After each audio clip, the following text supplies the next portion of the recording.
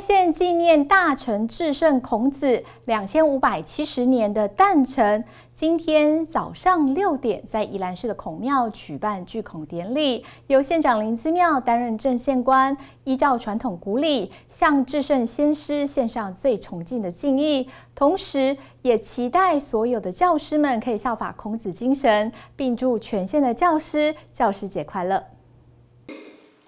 宜兰县纪念大臣至圣先师孔子二五七零年诞辰施奠典礼，今天上午六点十分在宜兰市孔庙举行，在宜兰高山国乐社悠扬古乐声以及例行国小六艺五中，依照古礼来进行。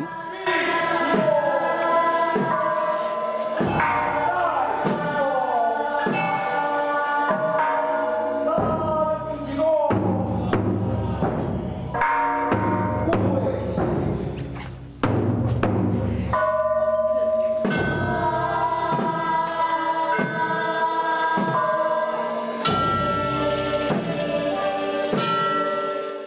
典礼由县长林之妙担任正县官，教育处长王宏祥担任纠仪官，以及市农工商等各界代表担任分县官。县长表示，今天是孔子诞辰，同时也是教师节。教师平时遵循孔子有教无类的精神，用心指导学生，让他们成为对社会有贡献的人。他也衷心祝福县内所有的老师教师节快乐。